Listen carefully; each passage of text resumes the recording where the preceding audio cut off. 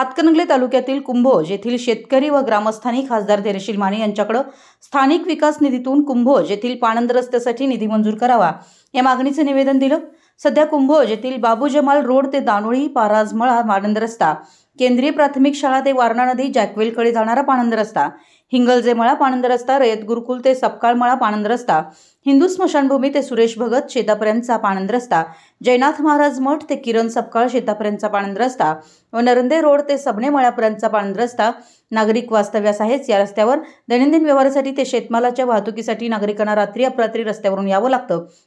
परंतु हे सर्व पाणंद रस्ते फारच खराब झाले आहेत त्यामुळे नागरिकांना ये जा करणं खूपच त्रासाचं झालं आहे त्यामुळे खासदार धैर्यशील माने यांनी स्थानिक विकास निधीमधून पाणंद रस्त्यासाठी निधी द्यावा अशी मागणी निवेदनाद्वारे केली आहे.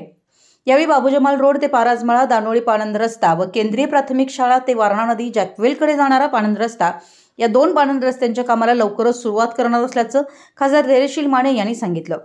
यावेळी शिष्टमंडळात माजी पंचायत समिती सदस्य संतोष माळी दादासो पांडव अनिल कोळी अनिल बाणे अभिषेक गणबवले दीपक कोळी दगडू पांडव शौकत मुजावर स्वप्नील कोळी आदी शेतकरी व ग्रामस्थ उपस्थित होते.